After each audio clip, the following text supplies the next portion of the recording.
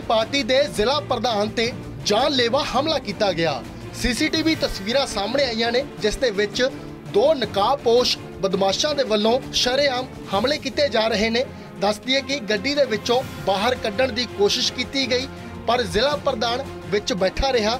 ਫਿਰ ਵੀ ਇਹਨਾਂ ਦੇ ਵੱਲੋਂ ਤੇਜ਼ਧਾਰ ਹਥਿਆਰਾਂ ਦੇ ਨਾਲ ਵਾਰ-ਵਾਰ ਵਾਰ ਕੀਤੇ ਗਏ, ਪਰ ਅੰਤ ਦੇ ਵਿੱਚ ਇਹ ਜ਼ਿਲ੍ਹਾ ਪ੍ਰਧਾਨ ਜਾਨ ਬਚਾ ਕੇ ਇੱਥੋਂ ਭੱਜ ਗਿਆ ਔਰ ਆਰੋਪੀ ਨੇ ਜਿਹੜੇ ਮੌਕੇ ਤੋਂ ਫਰਾਰ ਹੋ ਗਏ।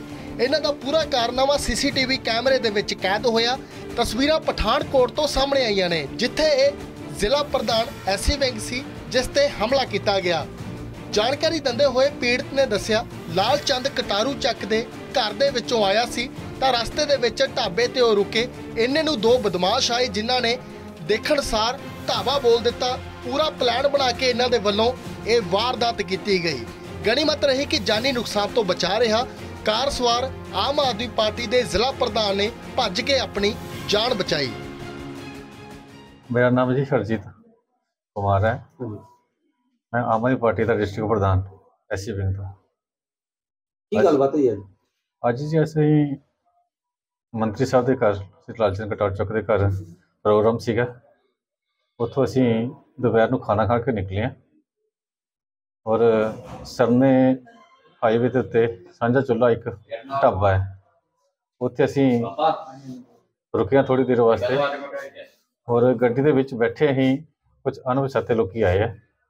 ਦੋ ਲੋਕ ਦੋ ਜਣੇ ਸੀ ਇੱਕ ਕੋਲ ਦਾਤਰ ਸੀਗਾ ਔਰ ਇੱਕ ਕੋਲ ਪੈਪ ਸੀ ਰਾਡ ਲੋਹੇ ਦੀ। ਔਰ ਉਹਨਾਂ ਨੇ ਕੁਝ ਨਹੀਂ ਪੁੱਛਿਆ ਕਹਿੰਦੇ ਬਾਹਰ ਨਿਕਲੋ ਬਾਹਰ ਨਿਕਲੋ। ਔਰ ਉਹਨਾਂ ਨੇ ਹਮਲਾ ਕਰਤਾ। ਇਹਦੀ ਪਛਾਣ ਹੈਗੀ ਮਾੜੀ ਮੋਟੀ ਜਾਂ ਕੋਈ ਨਹੀਂ ਉਹਨਾਂ ਨੇ? ਉਹਨਾਂ ਨੇ ਜੀ ਮੂੰਹ ਬੰਨੇ ਹੋਏ ਸੀ।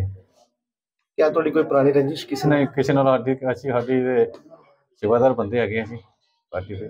ਕੋਈ ਉਹਨਾਂ ਨੇ ਕੋਈ ਖੋਹ ਦੀ ਵੀ ਕੀਤੀ ਕੋਸ਼ਿਸ਼ ਜਾਂ ਕੁਝ ਇਹ ਖੋਲ ਖਾਨ ਦੀ ਕੋਈ ਕੋਸ਼ਿਸ਼ ਨਹੀਂ ਕੀਤੀ ਬਸ ਹਮਲਾ ਕੀਤਾ ਜੀ ਉਹਨਾਂ ਨੇ। ਇੱਕ ਜਿਹੜੀ ਸੀਸੀਟੀਵੀ ਫੁਟਸ ਵਾਇਰਲ ਹੋਈ ਹੈ ਅਸੀਂ ਇਹਦੇ ਸੰਬੰਧ ਵਿੱਚ ਜਿਹੜੀ ਉਹਦੀ ਇਨਵੈਸਟੀਗੇਸ਼ਨ ਕਰ ਰਹੇ ਹਾਂ ਇਹ ਹਰਜੀਤ ਸਿੰਘ ਹੈ ਜੋ ਕਿ ਅ, ਆਮ ਪਾਰਟੀ ਦਾ ਇੱਕ ਨੇਤਾ ਆ। ਅਸੀਂ ਕੱਲ ਇਸ ਸੰਬੰਧ ਵਿੱਚ ਹਸਪਤਾਲ ਗਏ ਸੀ। ਅ, ਉਹਦਾ ਉੱਥੇ ਇਲਾਜ ਚੱਲ ਰਿਹਾ। ਤੇ ਐਮਐਲਆਰ ਉਹਨੇ ਕਟਵਾ ਲਈ ਹੈ ਤੇ ਉਹਦੇ ਹੁਣ ਅੱਜ ਅਸੀਂ ਕੱਲ ਉਹ ਆਪਣੇ ਬਿਆਨ ਉਹਨਾਂ ਸਾਨੂੰ ਨਹੀਂ ਦਿੱਤੇ, ਅੱਜ ਉਹ ਸਾਨੂੰ ਬਿਆਨ ਦੇ ਰਹੇ ਨੇ।